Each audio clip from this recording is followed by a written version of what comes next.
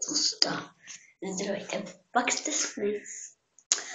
Да, ами, в момента баба и дядо спят.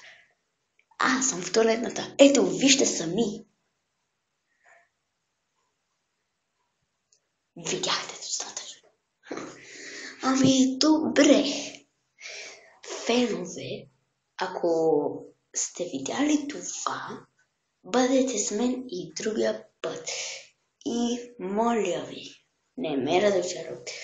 О, и ще се забавлявате другия път. Обещавам ви го. Което... Не знам кога ще стане, но...